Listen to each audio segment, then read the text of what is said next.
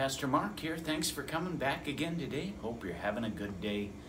Uh, kind of a gray, wintry day outside, so we will read some scripture from Isaiah um, chapter 9.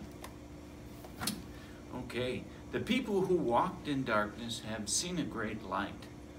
Those who lived in a land of deep darkness, on them light has shined. You have multiplied the nations, you have increased its joy. They rejoice before you as with joy at the harvest, as people exult with divining plunder.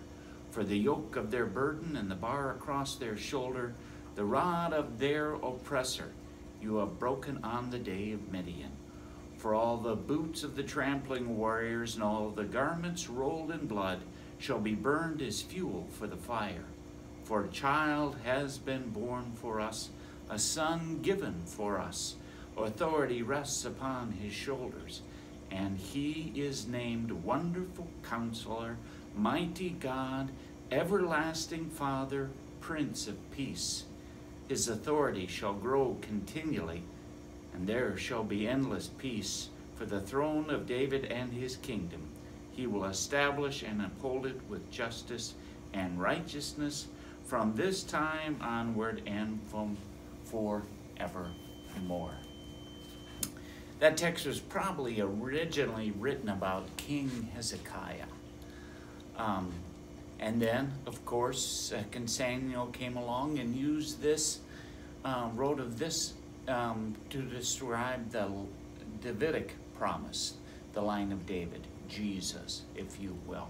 Use this same text to look forward.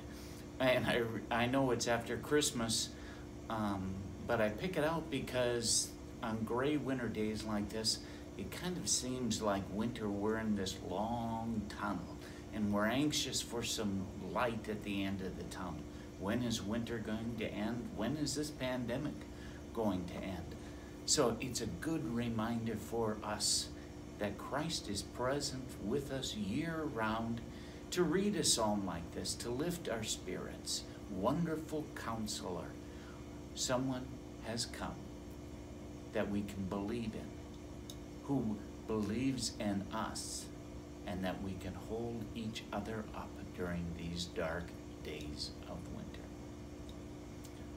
You take good care, pray daily, and keep the spirits high. See you tomorrow.